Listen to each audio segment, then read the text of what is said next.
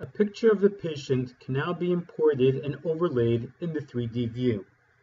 Simply click on the fourth icon from the top next to the 3D view, change overlay image settings. Click Load New Image and select the image you would like to load from your computer. Going back to the same button now allows you to adjust the positioning the size and the rotation of the image. The sliders can be used like joysticks, moving them to the left or to the right to take the appropriate action and then returning the slider back to the middle to stop the modification.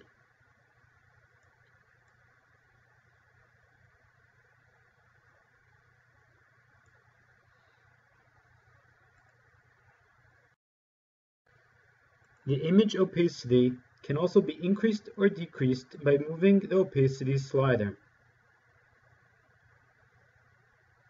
A new image can be loaded by selecting Load New Image. The image can be toggled off and hidden by unchecking the Show Image option.